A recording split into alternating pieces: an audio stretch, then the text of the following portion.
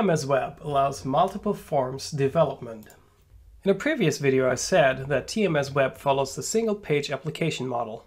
Just as a reminder, a single page application, SPA, is a web application that interacts with the user by dynamically rewriting the current page rather than loading entire new pages from a server. That means you do not specify an URL in order to navigate to a different page. You have to use the framework in order to load the content into the existing page. Following the Delphi thinking, you have one designated main form. And then you have one of the following options. You either can create a modal form, a pop-up form, or you can embed another form into your existing main form. Just be assured that the framework handles loading of the content you will have the option to interact with form creation and destruction using events. This is a multi-form demo that ships with the framework. First of all, you have the main form called Form 1.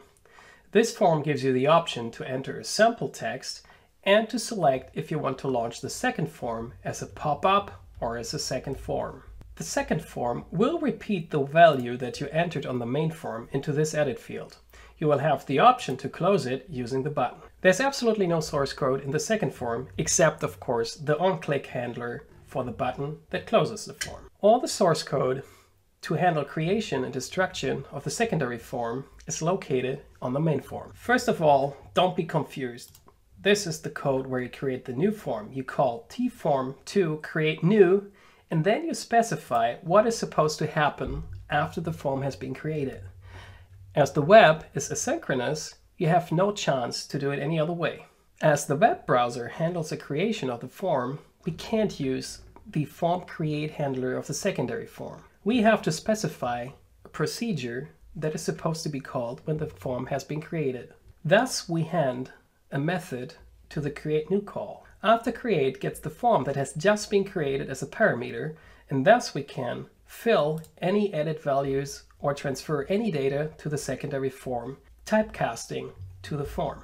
Every TWeb form has a pop-up property, which allows us to decide when it is being shown if it is shown as a pop-up window or as a normal window. Here we set the pop-up property to the checked value of the web checkbox 1. Finally, we display the second form using show modal and we supply yet another method that allows us to control what is supposed to happen when that form is closed. Here we simply show a message to the user that the form has been closed, and we also display the edit value.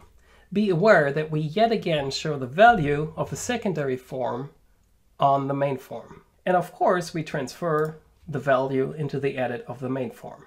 Finally, let's have a look at embedded forms. This is a demo that will also be released together with TMS Web.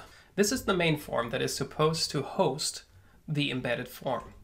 We need a control that designates the area where the embedded form is to be shown a panel is perfect for this purpose.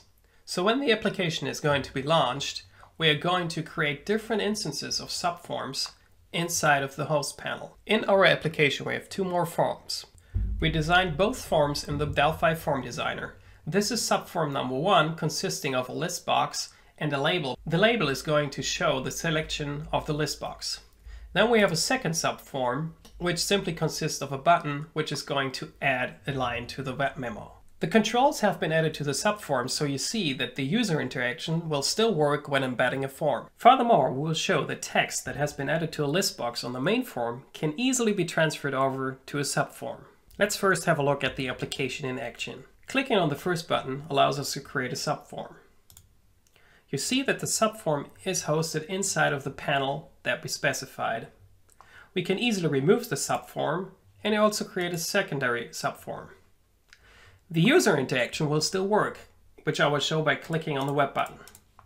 Finally, let's transfer some data from the main form over to the subform. We create another form and click transfer to subform and you see that the values appear in the list box of the subform. Then we can select any value and it's being displayed in the label on the form. You will be even more surprised and happy how easy it is to implement this. I already showed you the two subforms. Both forms simply deal with what they do, like adding text to the memo. There's no special code dealing with the transfer from the main form to the subform inside of the subforms. It's all hosted on the main form. First of all, let's look at how we create subforms. Let me just start with the fact that we have a variable form that keeps track of the last subform that we have created. Thus, whenever we create a subform, we check if there's already a form assigned to it and free if necessary. In order to create a subform, we use application create form. The first parameter is the type of the subform, followed by the element ID of the control that is supposed to host the form. In this case, hostpanel.elementID. The final parameter specifies the instance variable that is supposed to take over the reference to the subform. You can see that it's the same code for the second subform, just changing the type of the form. Removing the subform is also very easy. You free the memory and set form to nil. Even transferring the data to the subform is very easy. First, you check that the form variable is assigned, and you also check that form is actually t tsubform1. Then you can access that variable, typecasting it to t tsubform1 and have full access to all the visual controls on that form. Then you simply transfer the values from the list box of the main form over to the list box on the subform. That's it. And that's also it for anything that deals with secondary forms or subforms with TMS Web. As you can see, even though we follow the single page application model, there's really no restriction for your web application development.